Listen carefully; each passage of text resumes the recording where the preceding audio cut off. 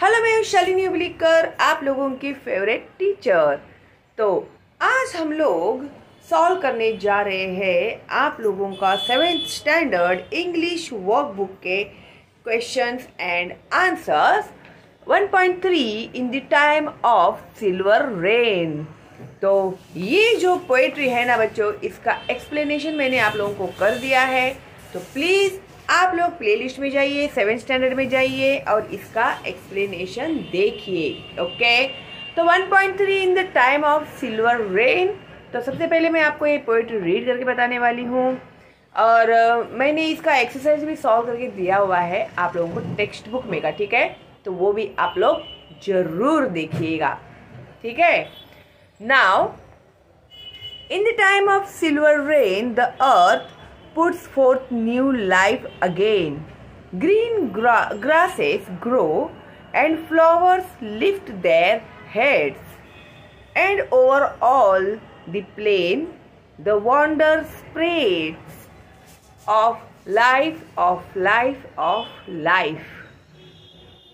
In the time of silver rain, the butterflies lift silken wings to catch the rainbow cries and trees put forth new leaves to sing in joy beneath the sky. As down the roadway passing boys and girls go singing too, in time of silver rain, when spring and life are new. Okay, तो ये लिखा हुआ है भाई Langston hugs ने ठीक है तो इसका तो चाल मुझे पता है नहीं कि किस रिदम में इसे गाते हैं ओके तो ये तुम लोग ये देख लेना और हंसना तो बिल्कुल भी मत तुम लोग, ठीक है? हम्म पहले ही बोल देती हूँ मैं। तो अभी इसके क्वेश्चन एंड आंसर जो है वर्क बुक में हम लोग उसे सॉल्व करने वाले हैं। तो in the time of silver rain इसमें जो प्रेफेस पैराफ्रेज जो होता है ना, वो बहुत इंपॉर्टेंट होता है। आपको ये रीड करना चाहिए। आप लोग है ना रीड करने में बहुत सुस्ती करते हो और डायरेक्ट आप लोगों को आंसर्स चाहिए होते हैं, ठीक है? तो ऐसा अगर आप करते रहेंगे ना तो बच्चों प्लीज़ ऐसे मत करना okay then when the silver rain falls on the earth जब भी सिल्वर रेन अर्थ पे गिरता है the earth develops new life again तो अर्थ में फिर से एक बार जान आ जाती है। अभी बारिश के मौसम में देखो ना तुम लोग, कैसे बारिश आते ही सब हरियाली ही हरियाली नज़र आती है। सारे जो ट्रीज एकदम ग्रीन हो जाते हैं, है क्या नहीं? तो क्या होता है? अर्थ के ऊपर फिर से लाइफ आता है। Green grass grows and flowers lift their heads जो ग्रीन ग्रास होता है ना, वो भी बढ़ता है। और जो फ्लावर्स होते हैं, उसमें भी कलियाँ आती है। कलियाँ अपना मुँह ऊपर लेके आती है अच्छा पानी वगैरह मिलने से। The wonder of life spreads all over the plain तो सारे ज़मीन में, सारे मैदान में क्या होता है? ये जो वंडर ऑफ़ लाइफ है ना चारों तरफ़ हमें फैला हुआ नज़र आता है। हरियाली ही हरियाली, खुशहाली ही खुशहाली नज़र आती है हम लोग को। When the silver rain falls on the earth the butterflies lift their silk like wings तो विंग्स होते हैं ना उसके। कैसे होते बटरफ्लाईज के विंग्स ऐसे सिल्की दिखते हैं ना वो। टू कैच दी रेनबो क्या पकड़ने की कोशिश करते हैं वो? रेनबो तो किसे कैच करने की कोशिश करता है वो? रेनबो को। रेनबो पता ही है तुम लोगों को, है ना? इंद्रधनुष। The trees produce new leaves to sing in joy beneath the sky अभी ट्रीज प्रोड्यूस न्यू लीव्स नए पत्ते आते हैं। जो पेड़ होते हैं ना, उनके ऊपर भी नए नए पत्ते आते हैं। और ऐसे वो ऊंचाई पे जाते हैं ना, जैसे बोलते ना, आसमान छूने की कगार पर, ऐसे।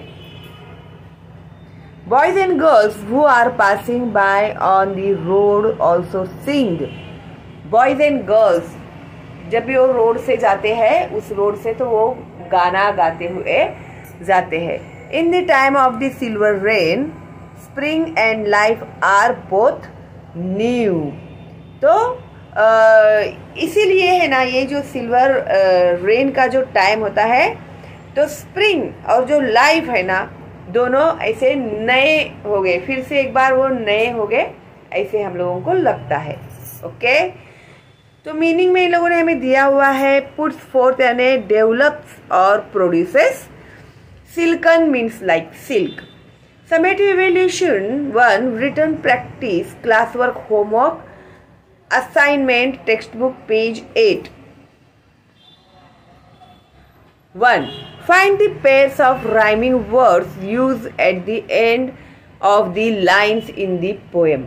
अभी rhyming words. Rhyming words यानी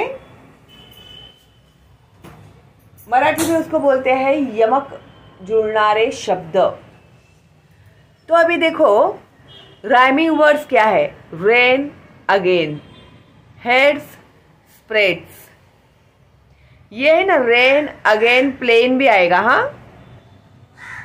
हेड्स spreads. देन और क्या है? विंग सिंग है ना? विंग सिंग क्राई स्काई तो ये लिखा हुआ है यहाँ पे भी तुम लोग देखो। Rain again again plain head spread wing sing cry sky two new okay then question two fill in the following blanks with reference to the poem in the time of the rain when spring and life are new okay. The butterflies lift silken wings to catch a rainbow.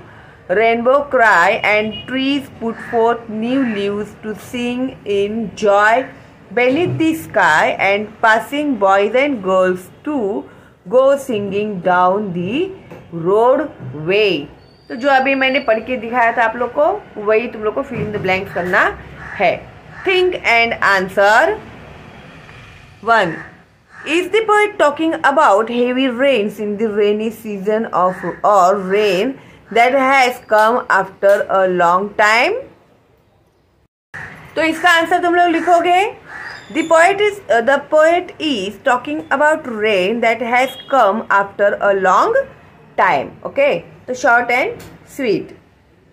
उसके बाद है second. Are the boys and girls happy that it is raining?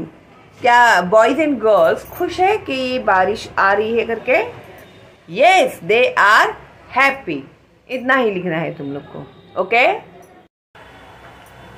open ended question question if you were to draw a landscape on the basis of this poem what elements will you show in it what colours will you use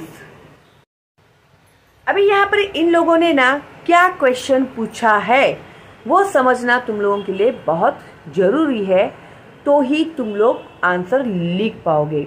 और इस question का answers लिखने के लिए तुम लोगों को poetry क्या है पोएट ने पोएट्री में क्या लिखा हुआ है, वो भी समझना ज़रूरी है तो ही तुम लोग ये आंसर जो है वो लिख पाओगे। ठीक है? तो भी इन लोगों ने यहाँ पे हम लोगों को क्या पूछा है if you were to draw a landscape on the basis of this poem अगर तुम लोगों को इस पोएट्री के हिसाब से पिक्चर निकालने के लिए कहा जाए ड्राइंग निकालने के लिए कहा जाए what elements will you show तो तुम अपने उस ड्राइंग में कौन से कौन से एलिमेंट्स दिखाओगे? And what colours will you use और उस पिक्चर को कलर करने के लिए, उस ड्राइंग को कलर करने के लिए तुम कौन से कौन से कलर्स यूज़ करोगे तो इसका आंसर तुम लोग किस तरह से लिखोगे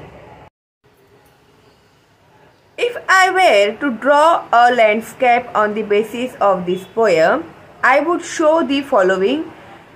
Okay? तो अभी इतना सब लिखने के लिए तुम लोगों के पास जगह नहीं होगी ना अगर तुम लोग नहीं चाहते हैं तो तुम लोग है ना आ, इस तरह से लिख सकते हैं I would draw I would show the following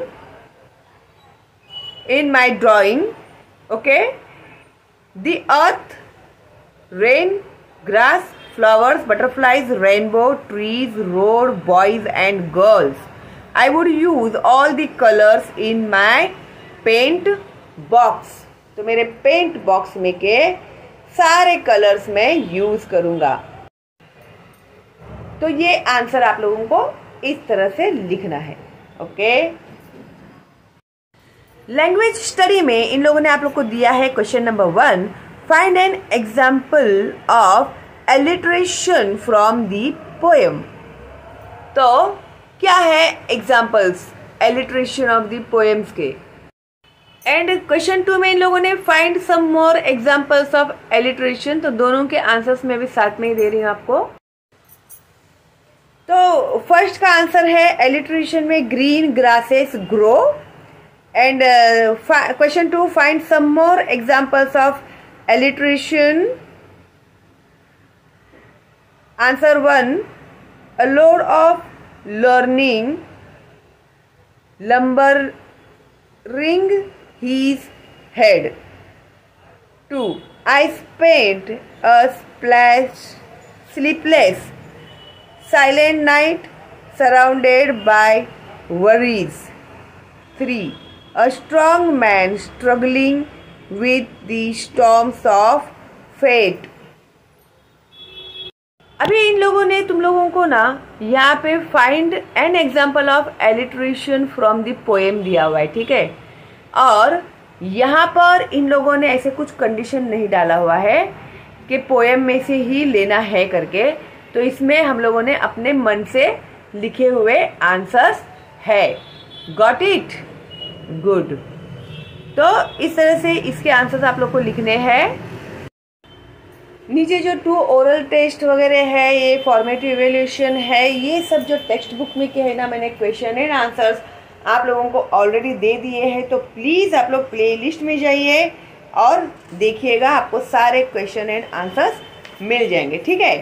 तो अगली वीडियो में मैं अपलोड करने जा रही हूँ वर्कबुक में से question and answers 1.4 the king's choice okay तो बी रेडी एंड लेसन जो मैंने एक्सप्लेन किया है, इसके क्वेश्चन एंड आंसर भी मैंने अपलोड किए हैं विथ एक्सप्लेनेशन तो प्लीज़ आप लोग before solving work book question and answers एक बार लेसन रीड करना है आप लोग को, फिर उसका एक्सप्लेनेशन भी देखना है आप लोगों को और तैयार रहना है वर्कबुक के आंसर्स के लिए, ठीक है? और टेक्स्ट बुक में के क्वेश्चन आंसर्स मैंने ऑलरेडी अपलोड कर दिए। ओके तो चलो देन मिलते हैं बहुत जल्दी ही अगली वीडियो में। तब तक के लिए all the best and bye bye